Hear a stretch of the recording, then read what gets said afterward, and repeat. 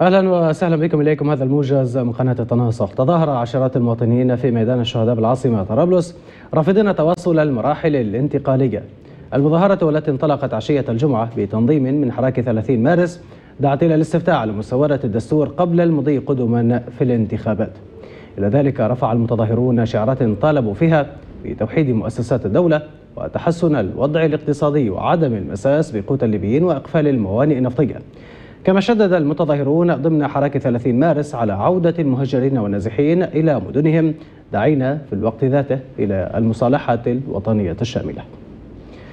في سبها تجددت الاشتباكات في المدينة الجمعة بالأسلحة الثقيلة والمتوسطة منذ ساعات الصباح الأولى بين قوات اللواء السادس مشاة التابع للرئاسية المقترح ومسلحين تابعين لقبيلة تبو.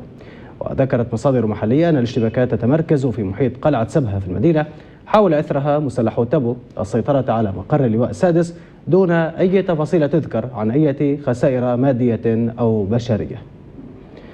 أعلنت وزارة الصحة بالحكومة المؤقتة التابعة للبرلمان المنحل ارتفاع عدد قتلى التفجير الذي استهدف مدخل أجدابيا الشرقي إلى ستة قتلى وتسعة جرحى. وأضافت الوزارة في بين لها أن حالة الجرحى تراوحت بين الحرجة والمتوسطة والخفيفة مشيرة إلى أن الجرحى يتلقون العلاج في مشفى محمد المقريف بإجدابيا لذلك عبرت الوزارة عن إدانتها الشديدة لما وصفتها بتكرار العمل الإرهابي عبر استهداف المواطنين في مدخل مدينة إجدابيا أكد مصدر أمني الإفراج عن عميد بلدية طرابلس المركز عبد الرؤوف بيت المال بضمان احتجاز جواز سفره للتحقيق معه بمكتب النائب العام وذلك يوم الأحد القادم.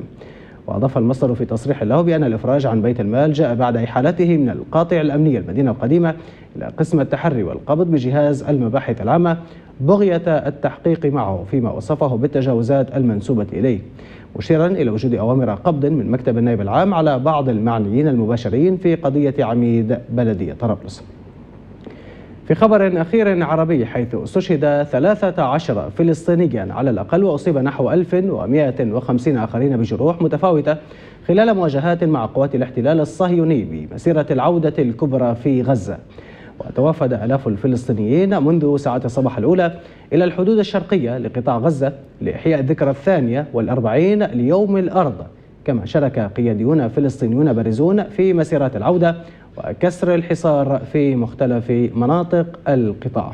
إلى اللقاء.